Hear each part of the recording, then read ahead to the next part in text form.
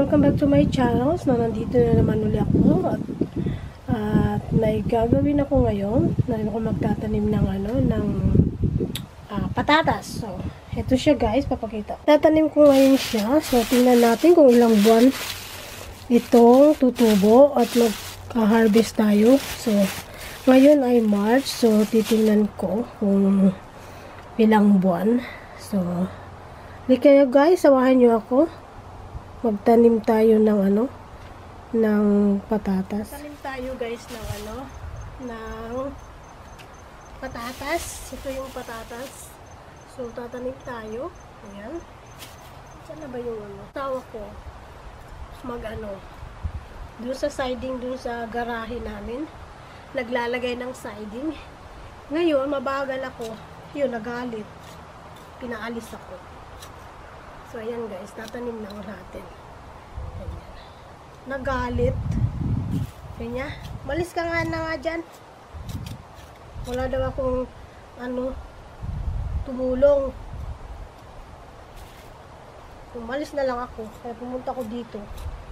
Dinaling ko na lang tong, ano ko, patatas. Yan, ganyan lang guys magtanim. Maglagay ng ano, ng patatas. So, titingnan natin kung ilang buwan siya tutubo.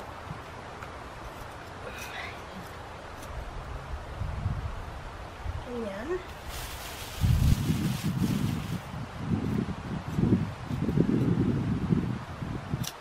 Nagtanim na ako nito ng one year, two years ago eh. Kasi ngayon susubo, may ano naman, nagkar na marami din ako na harvest. So, ito ngayon ulit, magtatanim ako ng ano. Ayan siya guys, so. Ayan. Ito yung kung paano magtanim ng patatas. Yan. Tanihan natin para marami tayong harvest. Ayan. Magbubuhay naman to eh. buhay yan guys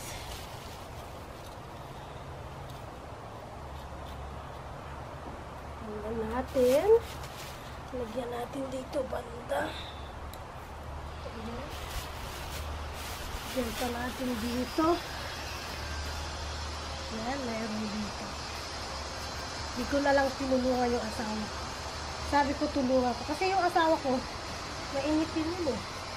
Gusto niya eh babae ako. Gusto niya lalaking trabaho. Eh. Alam nyo naman lang, ang mga babae, girly-girly. So, so, sabi ko, sa guardian na lang ako. Galit. Galit siya. So, ayan na guys. Tapos na. Ayan. So, ito ay potato. Ayan, tatabunan lang natin. Ganyan. Tapos, hintayin natin ng mga ilang itong araw. So, one week. Ano na ito? may mga dahon-dahon na. So, kasi nga, wala kaming ano, cancel ang trip. So, ganito na lang ang gagawin. Tapos, magtatanim ako rin ng okra. Doon naman, itatanim natin yung okra. Itatanim ko. Ito, uh, last year kung ano to eh, kuha. Gawa ko seedling. Nagpa-seedling ako. So, ito yung itatanim ko tatanggalin ko muna yung mga ganito. Yan. Tapos, ilalagay ko doon. Kasi, may tumubo na nga yung iba doon eh. Pero ibang okra yun. Siguro ano yun eh, cucumber, yung natanim ko. So, ito naman, okra. So, ito na siya guys. Ito yung tinanggalan ko. Ito yung tinanggalan ko. So, ito na siya. So, gagawin ko, itatanim ko doon. So, para naman yung walang yung open space. So, matataniman ko ng ano, magtatanim ako ng ano, uh, ulit ng, ano ba to? Sitaw naman. At saka, ampalaya. Ayan, ampalaya. Then, ito, inano ko na okra. So, samahan nyo ko guys, magtanim tayo. Ayan, titingnan natin kung ano. Pero pang summer na kasi ito yung mga sitaw, ah, ampalaya, yan, okra, yan, summer na, pang summer. So, ayan. Guys, kung napapansin nyo, malinis na yung aking garden. Yan, kasi nga, tinanggal ko na yung mga yung mga nasa na ba yung aking ano? Tinanggal ko na guys yung mga ano? Yung mga tawag dito, yung dry na mga kamatis. So, yan guys. So, mainit. Magtatanim tayo. So, ito guys, tatanim ko yung ano, yung banda. Dito. Dito yung ano, tawag dito, yung itatanim ko yung ano, yung sitaw. Yung sitaw. Yung dali lang. Saan dali lang? Ay, nakalimutan ko. Makainit. Kaya lang, walang choice. Kailangan ko itanim para para ano siya. Kaya maingay yung aso. Tahon lang tahon. Tapos lalagay natin dito. Sana mabuhay. Isa. Sit, uh, ang palaya. Ang palaya. Yan, yung aso ko, maingay.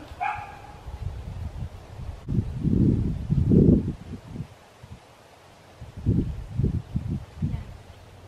So, ngayon, yung sitaw naman. Sana mabuhay. Sitaw naman. Sitaw, tatanim natin. Magtatanim tayo dito banda. So, okra naman. So, okra naman ang tatanim ko, ha? Tapos na tayo sa tapos na tayo guys sa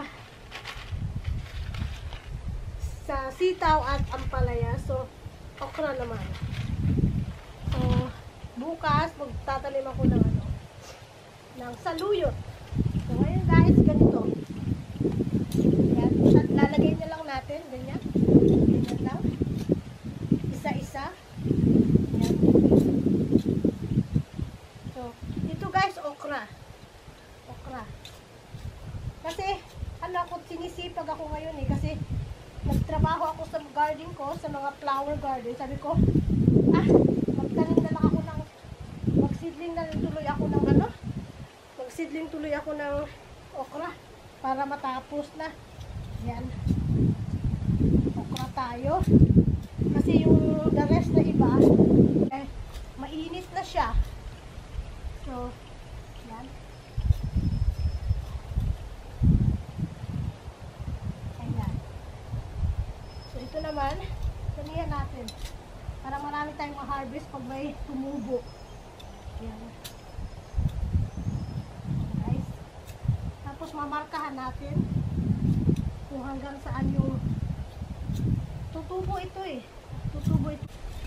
So, yung okra hanggang dyan, lalagyan natin yan ng harang. Na yung okra ay hanggang lang.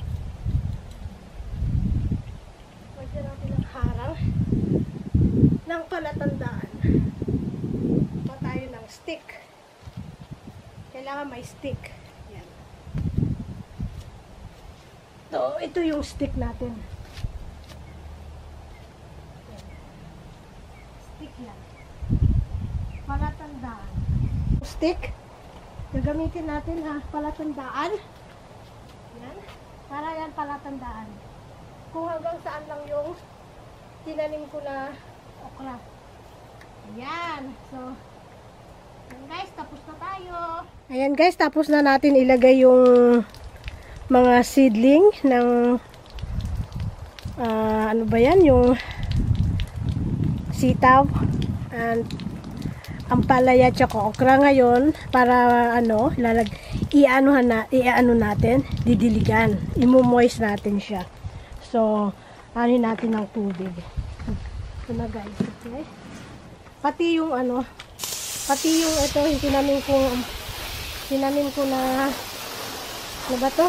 Patatas. So, yun siya guys, kailangan pagka nalagay na na yung seedling, kailangan nyo basain. Ayan. Para magmumoist siya. Pati yung nandoon. Pati yung nandito. Kailangan babasain para magmumoist. Tapos, yan. Kasi yung mga seedling para magmumoist siya. So, wag lang lang yan dyan. Dito na lang na, anuhan, yung natanim na ito ng seed. So, dito tayo maglalagay ng seed sa ganito. Imu-moist natin siya. Kasi, tuyo-tuyo ang ano eh. Tuyo-tuyo. So, guys.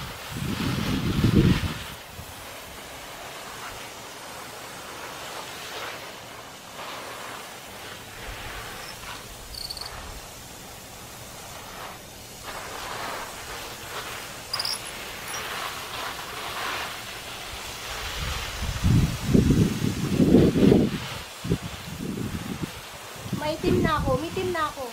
Isang oras lang ako dito sa ano. Naka isang oras na ako dito mahigit sa garden. Mitim na kagad ako. Grabe ang init ng Florida. Madaling makaitim. Lalo na yung hangin.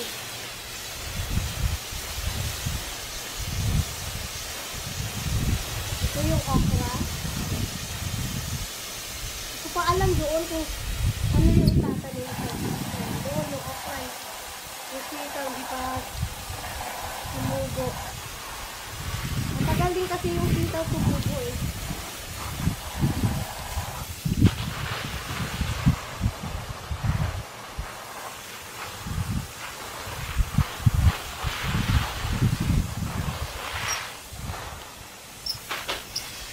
Didiligan natin ulit mamayang hapon. Two times yan didiligan sa ano, kapag mainit, two times, three times sa isang araw ang pagdidilig. Kasi, para ano talaga siya, basang-basa yung ano dito. Yan. Kasi oh, tingnan nyo, tuyok pa rin yung ano. Tuyok pa rin. Yan guys. So, yan. Yung iba, yung aking ano, tumubo na rin yung ano.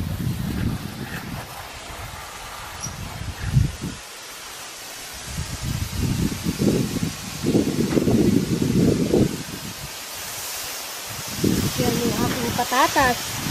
Kung nakita nyo guys, yan yung patatas ko. Doon naman yung okra. Nakita nyo naman kanina.